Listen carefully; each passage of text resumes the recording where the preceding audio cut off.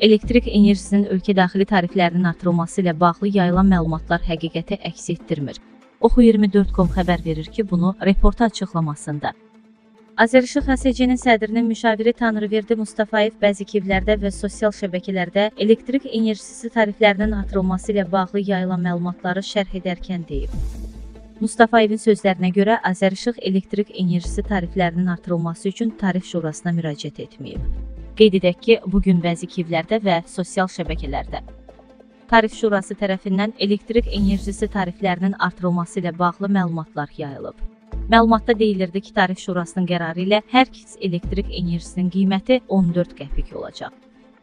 Xatırladaq ki, hazırda əhali qrupu abunəçilər üçün 300 kitsə qədər 7 qəpik, 300 kitsdən artıq isə 11 qəpikdir. Qeyri-əhali qrupu üçün isə qiymət hər kiç üçün 11 qəpikdir.